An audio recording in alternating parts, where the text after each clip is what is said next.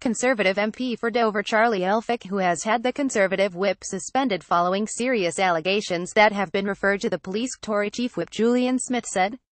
Photo credit Rick Findler Wire Conrad Landin 41 minutes Friday, November 3, 2017 Charlie Elphicke referred to police after serious allegations made against him. I understands Tory whips cooperating with investigation after complaints from young women. Labour MP Clive Lewis denies claim he groped woman at party conference six weeks ago.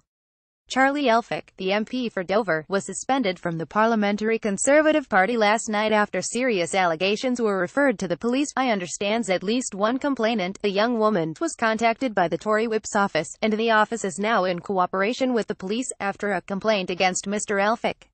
I deny any wrongdoing, Chief Whip Julian Smith said I have suspended the whip from Charlie Elphicke MP following serious allegations that have been referred to the police.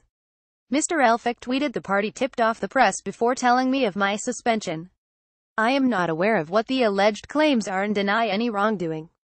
The party tipped off the press before telling me of my suspension.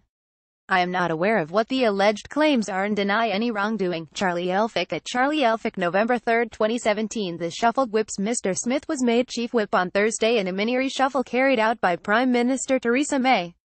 The switch followed the promotion of former Chief Whip Gavin Williamson, who was made Defence Secretary after Sir Michael Fallon became the first major casualty of the sexual harassment and assault allegations in Westminster. Mr. Elphicke, who has represented Dover since 2010 and sits on the Commons Treasury Select Committee, was a government whip until David Cameron stood down as Prime Minister last year. He served as a parliamentary private secretary to David Lidington when the latter was Europe Minister. In 2013 he suggested Labour councillors in his constituency should resign over allegations of sexism.